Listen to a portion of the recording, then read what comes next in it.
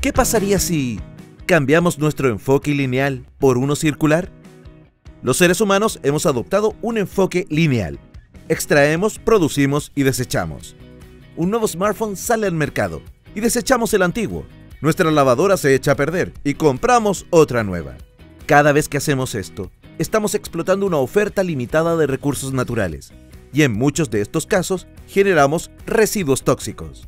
Sencillamente, esto no puede funcionar por siempre.